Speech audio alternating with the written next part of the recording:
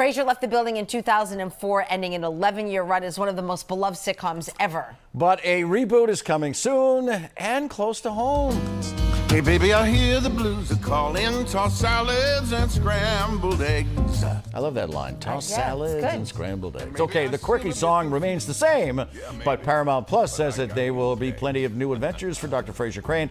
The streaming service just released this trailer. Kelsey Grammer will be back as Frasier, but he'll have a new supporting cast, and the series will be hosted right there. You see that?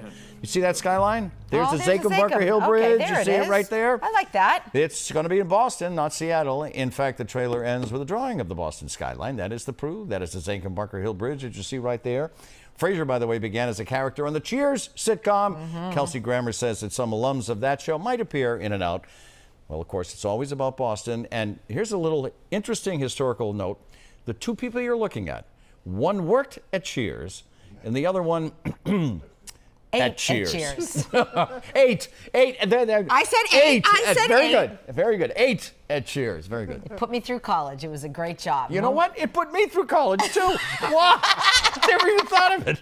it's perfect.